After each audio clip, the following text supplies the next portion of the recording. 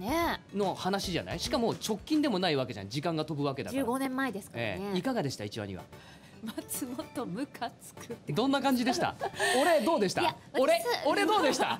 マジでムカつくと思いました あのあのビビが捕まえようとするとこあるじゃないですか、えあの、ええ。平がもうもう本当にムカついて。え本当ムカついた？なんか、うん。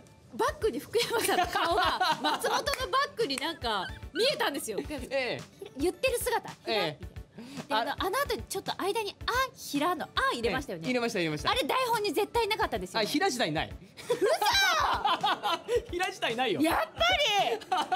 道理で私のなんか金銭に触れたんだあそこはね、ちょっとね、み見てる人たちにムカついてほしいなと思ってム。カつきあのええもう、もう思惑通りです、えちゃんと本当ムカつきましたもんいやー、嬉しいですね。そう言っていただけて。私もこうやってこうやってグリーンってやりたかったですああ、よ今完全に首首もぎゃってまた出てるから、また。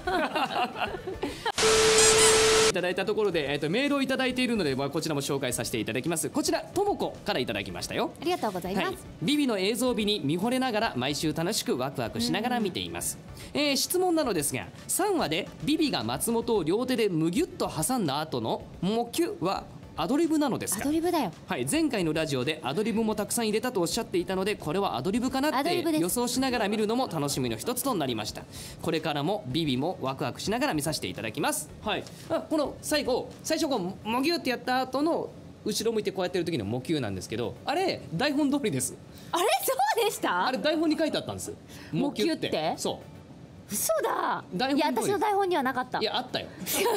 あれねもきゅに関しては台本通りです腹立ちますねこの翻弄されてる感がありますね若干あのね我々あのーああいうのを多分そう思うだろうなと思うぐらいいろいろ仕込んでおりますから。やだー、やだー。ええあれ台本通りでした。は